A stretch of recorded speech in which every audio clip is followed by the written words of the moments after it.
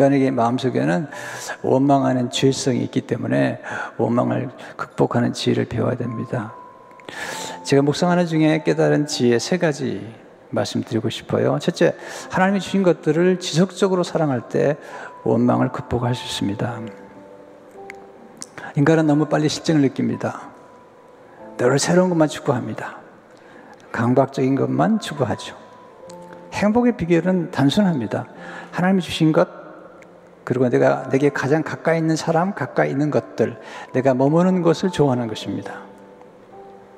두 번째, 하나님의 선한 계획을 신뢰할 때 원망을 극복할 수 있습니다. 하나님 뭔가 주셨다면 분명히 하나님의 선한 계획이 있을 거라고 신뢰하는 것입니다.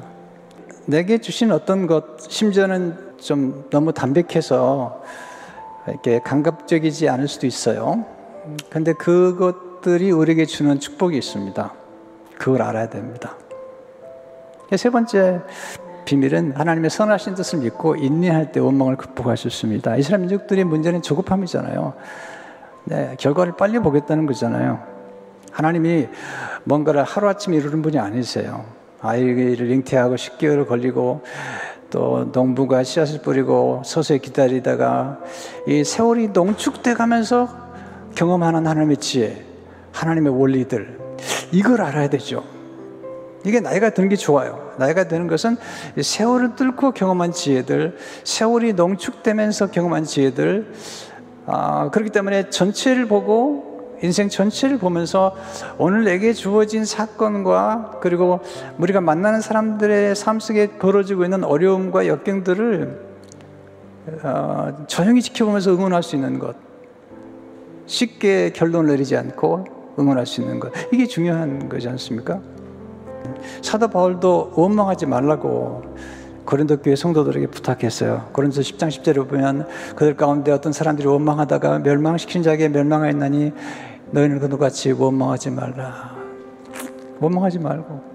그리고 이렇게 얘기하죠. 범사에 감사하라. 왜냐하면 범사에 감사해야만이 우리 삶이 풍요롭기 때문이죠. 감사하면 복을 받게 되고 관계가 좋아집니다. 그리고 감사하면 감사하는 사람들끼리 모이게 되죠. 그러면 삶이 풍성해지는 것입니다. 감사해서 눈이 열려요. 눈이 열려서 내가 아직도 가지고 있는 것, 그리고 내가 가지고 있는 것이 얼마나 소중한지, 내 곁에 있는 아내와 남편이, 내가 주신 자녀들이, 내가 지금 머무는 곳이 얼마나 좋은 곳인지를 알게 돼요. 근데 원망하면 눈이 어두워져요. 하나님의 은혜를 망각하게 되고 자꾸 문제만 크게 보여요. 그러면 인생이 아주 고단해져요. 행복이란 간단한 거예요. 좋은 게 자꾸 보이면서 좋은 것을 보면서 경탄해야 돼요. 감탄할 때 거기서 우리의 삶 속에 행복이 깃드는 거예요. 근데 가장 놀라운 삶의 예술, 사랑의 기술은 가장 가까이, 가장 곁에 늘 있는 남편과 아내, 자녀들을 보면서 경탄하는 거죠. 내 살 중에 살이요, 내 뼈 중에 뼈다.